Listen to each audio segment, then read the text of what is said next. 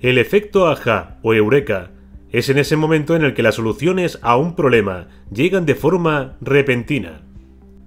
Casi todos los seres humanos han experimentado el efecto aja al menos una vez en la vida. Este efecto aja se da cuando hay un problema, generalmente grande, en el que se invierten horas pensando sin entender cómo resolverlo, pero de repente la solución aparece como por arte de magia. ¿Cómo ocurre el efecto aja o eureka? ¿Qué sucede en el cerebro en ese momento? ¿De verdad es algo repentino o subyace alguna otra causa? Algunos estudios sugieren que hay emociones previas a ese maravilloso instante en el que las cosas se aclaran.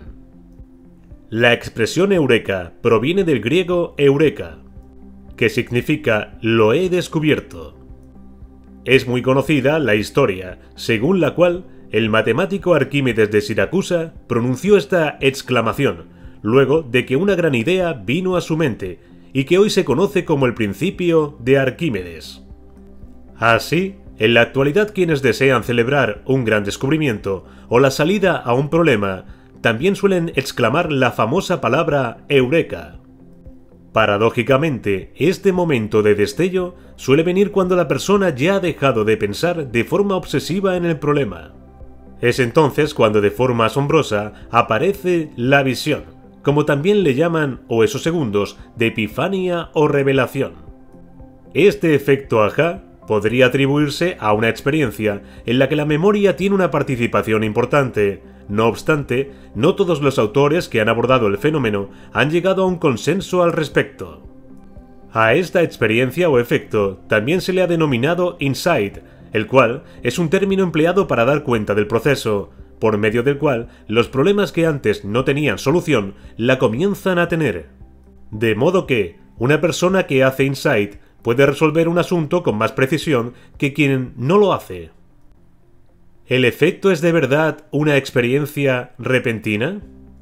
Muchos se han preguntado si realmente este efecto es una experiencia que se da de repente o si hay un estado de preparación que le antecede. La interrogante no es nueva. De hecho, hace ya mucho Luis Pasteur había comentado que el azar favorece solo la mente preparada. Es decir, que ese esclarecimiento del efecto ajá cuenta con una mente entrenada. Tomando en consideración los estudios más actuales, se podría considerar que hay una actividad cerebral que es previa a la resolución del problema, y si esto es así, entonces muchas personas podrían prepararse para tener ese momento increíble.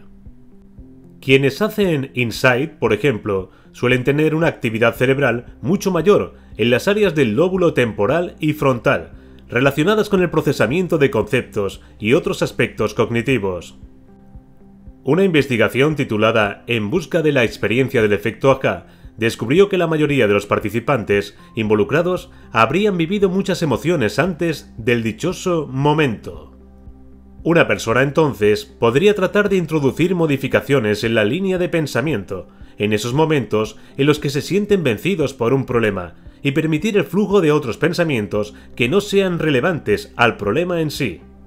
La emoción más informada fue la de la felicidad, por lo que el estudio, tras aplicar varios experimentos, concluyó que las emociones positivas son las que están más cercanas a este estado de cognición.